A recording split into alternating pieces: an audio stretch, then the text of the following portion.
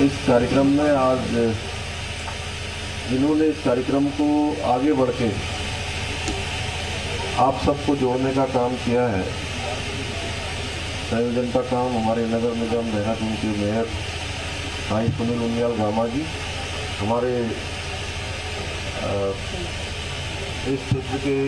लोकप्रिय विधायक आदरणीय खजानदास जी, हरिओम जी जिन्होंने सभी को जो लगातार इस क्षेत्र में नौनिहालों को आगे बढ़ाने के लिए काम कर रहे हैं, हरिओम चौधरी जी, हमारे नगर आयुक्त श्री मनोज गोयल जी, अंकिता जी और यहाँ की पार्षद रितु जी और ऐसे हमारे सभी यहाँ पर उपस्थित सभी नगर निगम के अधिकारीगण और सभी हमारे इस क्षेत्र के रहने वाले, सभी गणमान्य, सभी हमारे बड़े बुज़ुर्ग, सभी उपस्थित पत्रकार मित्र, छायाकार बंधु और जिनके, मैं देख रहा हूँ कि जिनके अंदर आगे बढ़ने की ललक है, उत्साह है, ऐसे हमारे सभी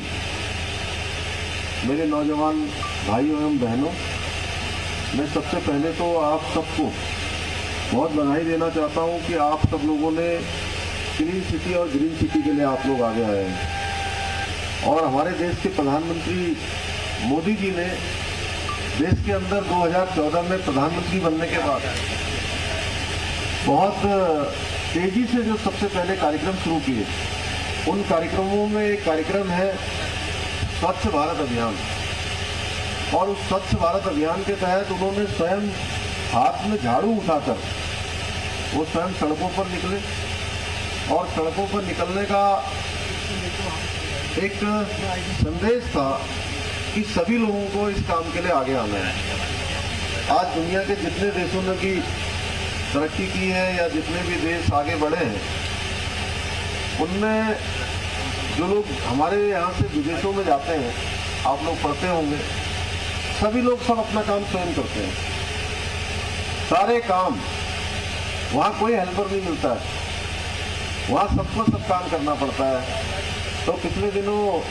हमारे मेयर साहब, हमारे वैसे तो ये बहुत पुराने हम सब लोग साथ साथ ही काम करते हैं तो क्लीन सिटी ग्रीन सिटी को लेकर सीएम धामी क्या कुछ कह रहे थे आपने सुना?